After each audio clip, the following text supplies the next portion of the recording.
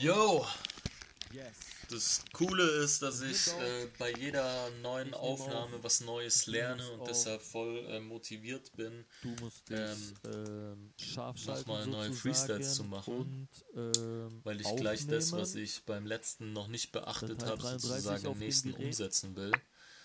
Ähm, auf den letzten bezogen wäre das jetzt zum Beispiel, Sehr schön, sehr äh, dass ich eine Brille lieber So, jetzt schaue ich mal, was in der Rap in München Gruppe äh, schon wieder bin, passiert ist. Ob etwas äh, Spannendes Neues passiert ist. Und für den Also Fall, alles, passiert, dass dem eventuell nicht so ist, Einfach direkt in dieses kann ich ja immer noch andere äh, Facebook äh, München Rap-Gruppen belästigen. Nicolas Leroy Braun hat noch etwas gepostet. Ach ja, die andere Idee war, äh, das schwarze Brett München äh, in Freestyles umzuwandeln. Mal schaue ich erstmal, was der. Vor allem der dritte von unten. Okay, du hast eine Beat-Playlist gepostet. Ähm, dann werde ich mal die hier benutzen. Vor allem der dritte von unten. Das reimt sich sogar. Äh, Greg Mack, äh, Greg Mack, Get Down. Boah, ich bin schon voll gespannt. Yo, yo, yo, yo, yo. Oh, check, check, yo. Okay, my man, check the rap sound. Dieser Beat, der ist Get Down. Der ist so wie die Serie, die ich noch nicht gesehen habe und auch noch nicht hörte. Im Sinne von erlebte, aber ich sehe da jeden darüber erzählen über diese Serie und Nas hat dazu den Soundtrack gemacht oder so ähnlich. Aber das ist mir zu viel Gesinge. Ich will lieber einen Beat und eine Stimme.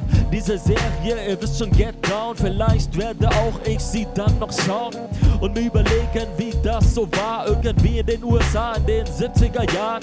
Aber der Beat ist von 1994. Und ich glaube, ich wollte es genauso hören. Das ist der Q-Tip Remix. Der äh, erfrischt mein Bizeps im Sinne von gib mir die Kraft. Und ich glaube, ich habe diesen Shit hier gemacht. Es wird interessant für die Gruppe. Und ähm, ich finde sie krass. Vor allem der dritte von unten. Ja, den rate ich in München zu pumpen. Aber sonst ist nichts los in der Gruppe da. Nicht mal an Muttertag, obwohl eure Mütter ja sicher so twittern oder sie haben ihre Finger an Tippen. Yo, ihr müsst es wissen, aber es passt schon bei Rap in München. Okay, was geht denn da noch? Ich weiß es nicht, ich bin ein fieses Arschloch und sag doch gleich, dass ich noch was anderes mach. Es wird sagenhaft. Hip-Hop und Rap in Munich, denen geben wir jetzt Crasse Music. Im Sinne von diesen Scheiß, den ich direkt darüber Freestyle rhyme. Ja genau, ich will ein bisschen rappen, aber fuck, ich bin auch in der Gruppe dieser Admin. Mitgliedsanfragen, die direkt dann wieder was sagen. Und zwar, ich will in diese Gruppe rein. Muss das sein? Dawn, DPX und dann Race. Verdammt, dieses Profil ist wahrscheinlich wieder fake. Verdammt, was ist das? Ich weiß es nicht. Ich denke so zickzack. Soll ich sie nehmen? Soll ich sie freischalten? Oder soll ich sie lieber als blockiert verwalten? Sie ist Mitglied in null Gruppen. Verdammt, die Schuppen fallen mir von meinem Kopf. Denn ich weiß nicht, soll ich das nutzen? Soll ich jetzt stalken oder soll ich sie einfach so beim Wort nehmen? Soll ich ihr das mal glauben oder ihr sagen, schau mir erstmal lieber in die Augen? Komm mal persönlich jetzt an Bahnhof, aber da merke ich, verdammt, sie ist aus Chicago. Wieso willst du dann unbedingt in der Gruppe sein? Ich frag nochmal, muss das sein? Ich push nen Reim direkt und hab Lust bewusst zu schreien. Verdammt! Was soll das? Oder du stolperst. Aber ich bestätig dich und denke, dass dein Gehirn hoffentlich nicht so neblig ist, wie das von den anderen, die dann in der Gruppe bloß irgendwelche Scheiße anfangen. Mach mal nur einen Spielstopp. Das ist Beatbox. Timo Trash und er kriegt von mir hier diesen Freestyle-Rap. Spielstopp habe ich bloß gesagt, denn das hat am Ende irgendwie auf Beatbox gepasst. Yo, der Anthem. Ich check's, man. Kennst es, der Anthem. Willst du uns jetzt damit battlen? Vor drei Stunden hast du das da gepostet, wieso nicht in meiner Gruppe? Verdammt, ich fühle mich in Rap in München einsam. Wieso gehst du bloß in die andere Gruppe da rein und denkst, du kannst da schleimen? Den Leuten sagen, hier habt ihr einen neuen Beat und ich würde mich echt freuen, wenn ihr mir Feedback gibt oder gebt oder gibt oder geben würdet. Was hältst du von den Lyrics, die ich gerade gerappt habe? Check das. Oida, was geht? Die Gruppe ist viel aktiver. Manchmal musst du einfach. Halt die Fresse. Ähm, Hip-Hop und Rap in Munich. Diese Facebook-Gruppe ist viel aktiver.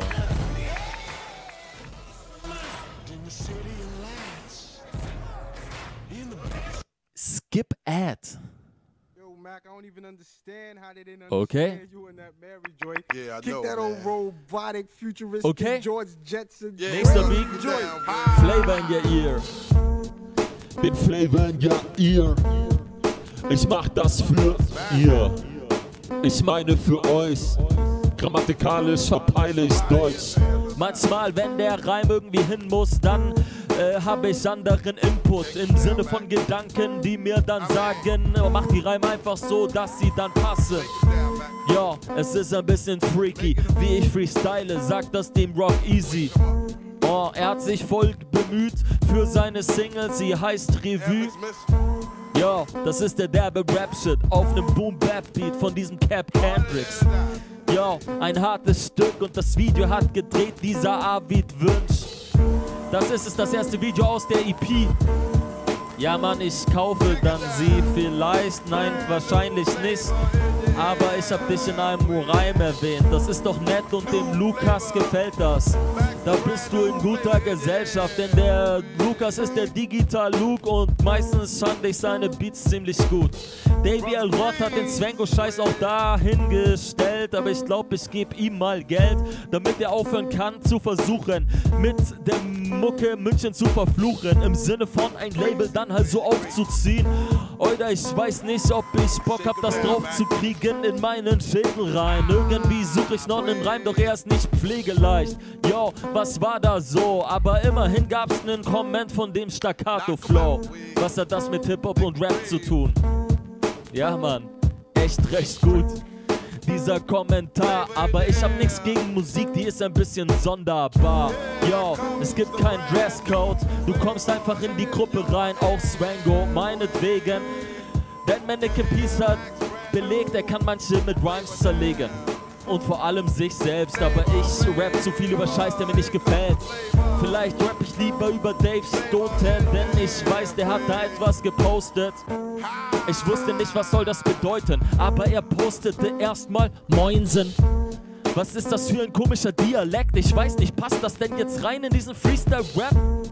Er wollte Tickets kaufen von Hip-Hop Camp und dann sagte Tommy Kausen, soll mal endlich Kolonne fahren? Ich weiß nicht, oder redest du bloß Schmarrn? Ach so, es ging darum, wer hat noch einen Sitzplatz zu diesem Camp in Tschechien? Hip-Hop war irgendwie dann mal wieder die Mission und ich habe das verstanden in der Dimension. Leon iRock hab ich gesagt, äh, nimm deinen iPod mit und dein Gepäck, was du sonst noch so brauchst und geh direkt dahin zu dem Auto, du kaufst ein bisschen einen Sitzplatz und kannst dann mitfahren. Davy. Rock postet schon wieder. Euler verpestet nicht das Klima, ich freestyle. Gerade oder dann macht dieser Alex Löser einen äh, Rap. Früher war er böser, ich weiß noch, damals war er Türsteher. Hat gesagt, in die erste Liga kommt nicht jeder. Yo. Und er wollte sie nicht reinlassen. Dabei war es der 24.12. Weihnachten. Wen mit sie? Euder, das war ein krasser Produzent und ein krasser MC. Der Alex war damals Türsteher und hat zum Fat Tony gesagt, Dolder Gamer. Und auch den Provo hat er nicht reingelassen. Seitdem ist ein Rap-Scheiß für mich nur Seifenblase.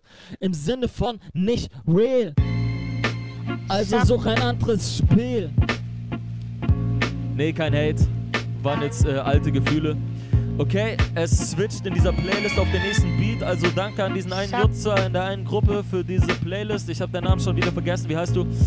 Lass dich mal hier kurz Props geben. Wie heißt du? Wie heißt du? Nicholas Leroy Brown. Oida. Der Beat der Talk, danke an Nicolas Leroy Braun. Cool, du hast mitgemacht. Ich hab nach nem Beat gefragt und du lieferst was. Deshalb heißt du Nikolas, fast Nikolaus. Ja, yeah, Mann, ich habe diese Beats gebraucht. Ah. Verdammt, Mann, wo war ich? Ich bin ein bisschen verteilt, ist gerade das Fazit, yo. Was gibt's im nächsten Poster? Ich weiß es nicht, Alter. Vielleicht bin ich schon in Ohnmacht oder peile überhaupt nichts mehr. Aber gib mir die Infos, ich brauch noch mehr. Deshalb sitze ich den ganzen Tag vor diesem Facebook-Kommentarfeld und frag mich, was die Welt da so darstellt. Und was jeder denn da so schreibt und was jeder denkt, dass er peilt und dass jeder denkt, dass er teilt, aber irgendwie am Ende dann gar nichts mehr weiß.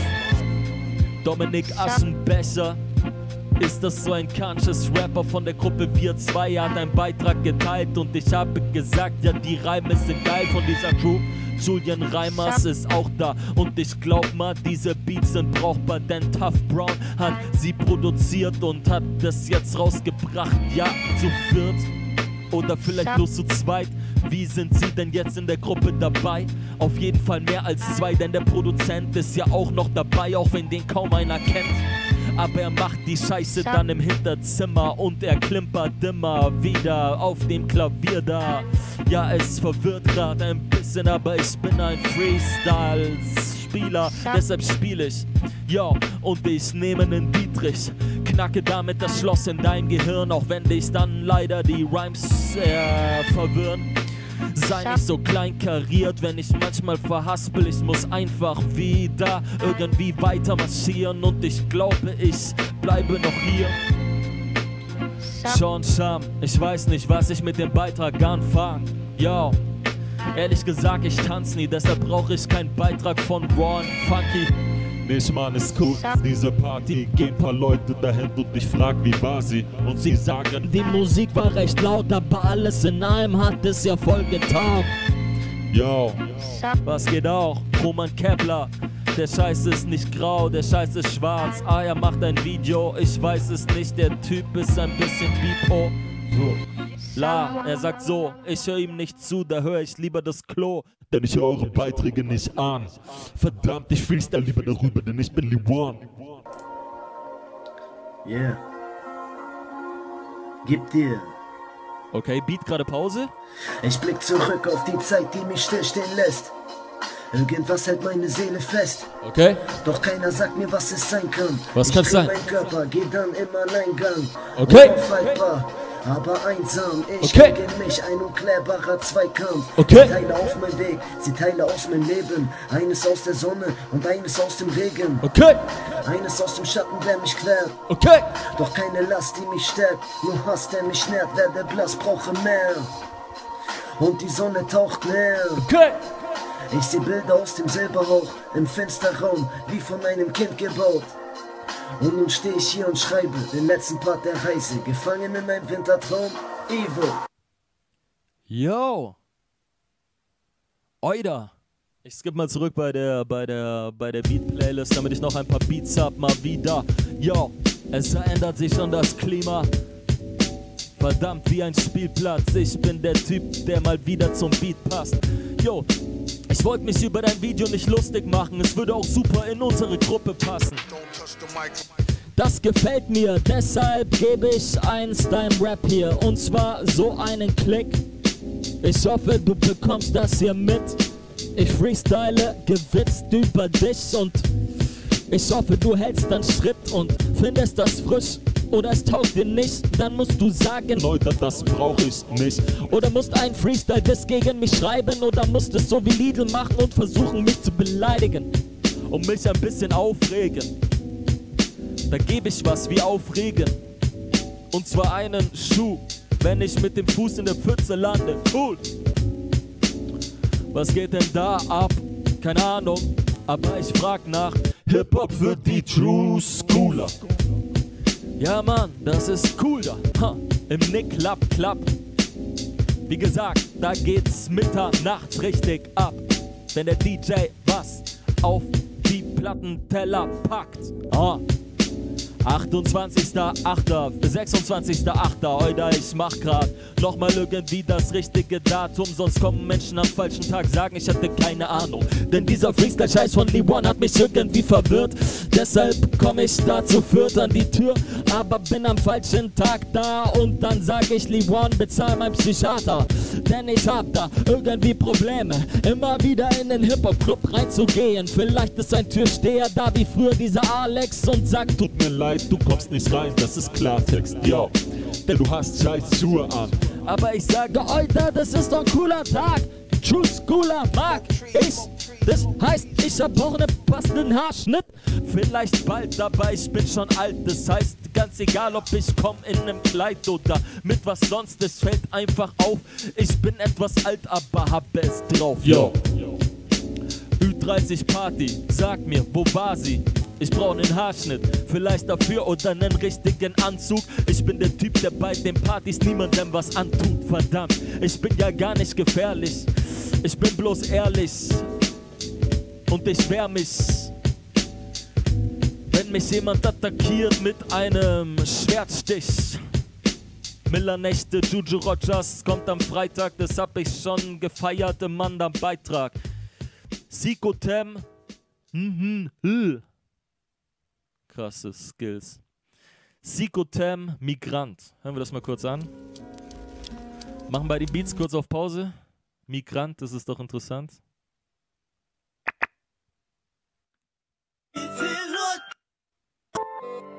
Okay. Real Talk oder was? Sozialkritischer Rap über Geschehnisse. Der Migrant. Nice.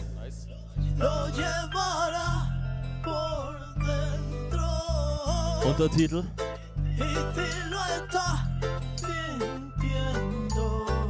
Okay, talk me, oder? Talk me. Nice. Reggae style.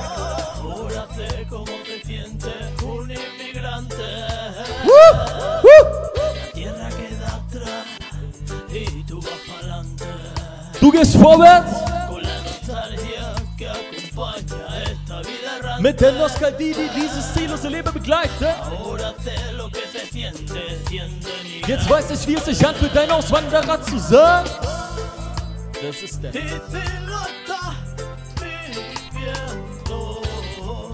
Okay. Oh, ich wollte noch weiter.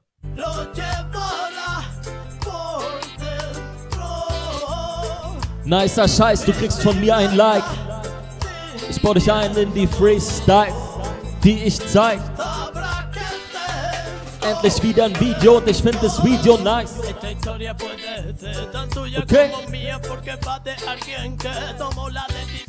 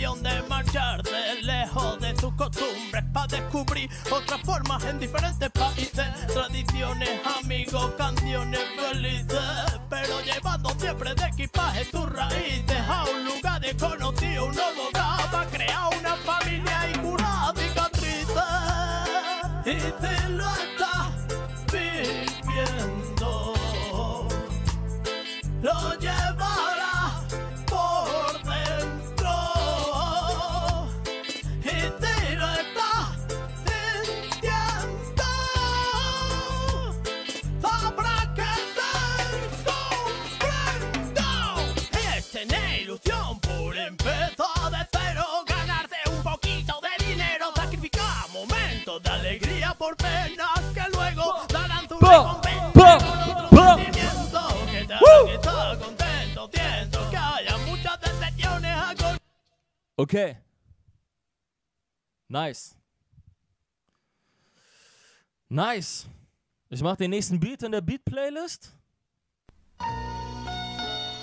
I hope you understand German. I, I, I liked your music video and your song.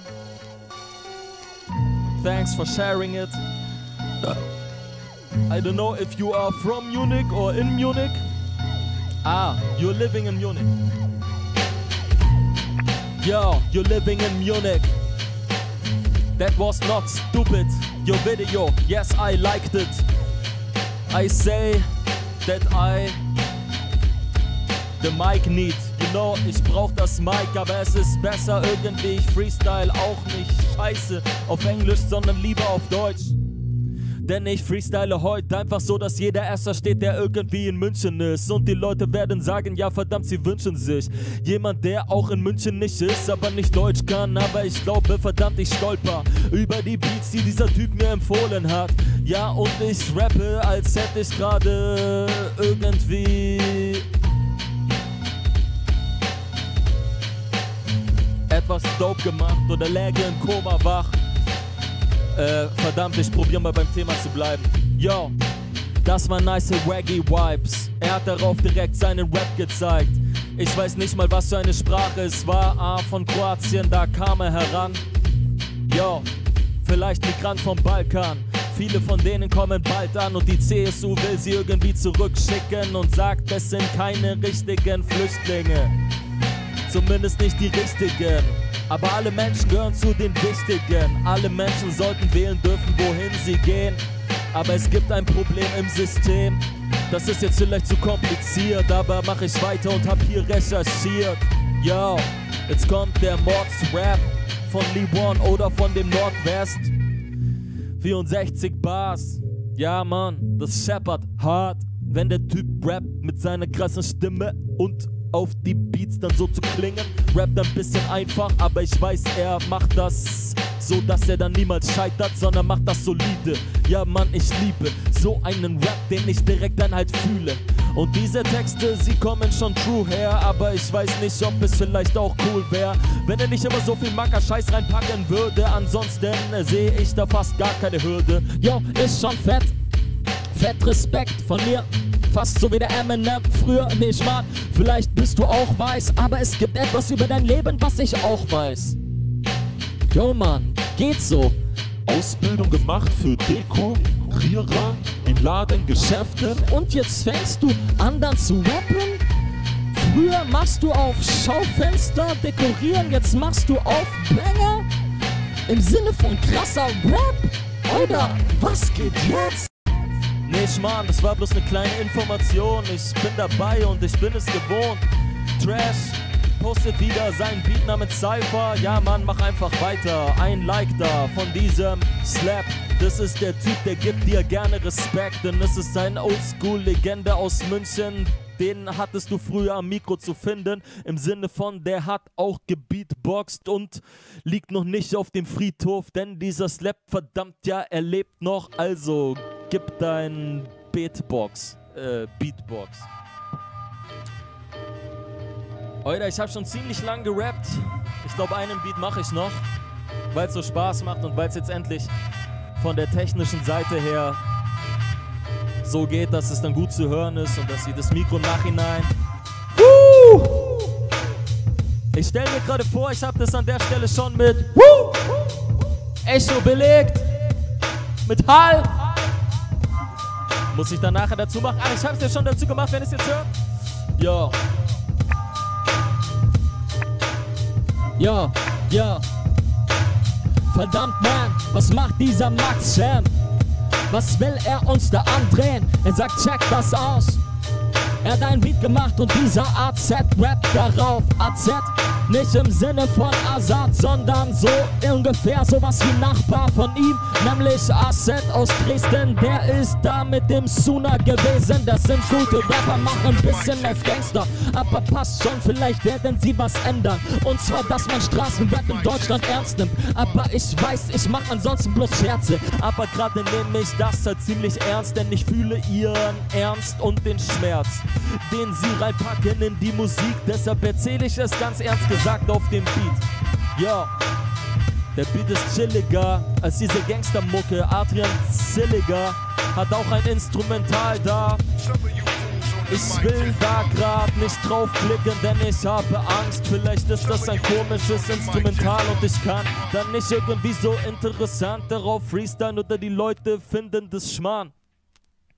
Ich schau mal, der Typ wohnt in Solingen. Solche Leute sind in eurer Gruppe Hip-Hop und Rap in Munich. Also in meiner Gruppe Rap in München würde sowas niemals vorkommen. Da wäre da längst schon ein Kommentar von mir drunter und ich würde ihn fragen. Ja, bist du in München? Willst du Kontakte nach München? Wieso postest du bei Rap in München? Aber bei Hip-Hop und Rap in Munich, da kommt lauter Scheiß, keiner interessiert sich dafür. Ja, und dann steht es halt da und äh, keiner äh, postet dazu was und alle posten und es ist einfach unübersichtlich. Aber manches ist wichtig.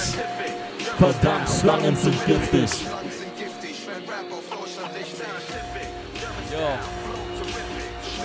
Und ich spüre gerade schon das Gift. Du merkst es durchs Mikro und da ist wieder der Tony Crisp. No Fame, One Love. Ich sage ja, Mann, dann mach mal. Teil da mal dein Video, aber bitte komm, lass mich am Mikro noch etwas dazu sagen. Sie machen da Graffiti und posten das dann hier in Munich City.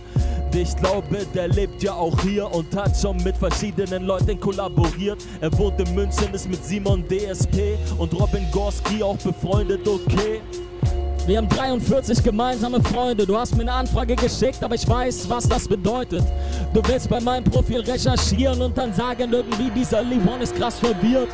Nee, Schmarrn, ich habe Angst vor dir. Du bist von der NSA, ich hab es fast kapiert. Ja, dass du wahrscheinlich ein Agent bist. Wieso ist dein Name denn sonst Englisch?